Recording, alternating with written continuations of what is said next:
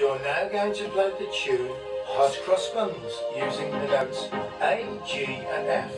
We're going to start with the note A, so find it on your pBuzz ready to play.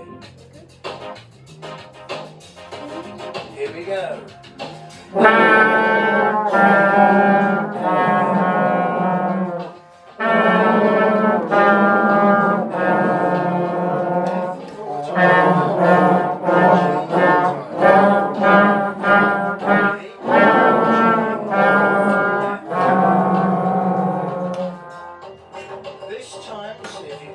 tune without recording the notes out.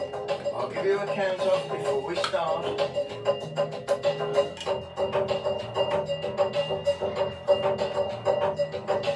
Here we go. One, two, three, play.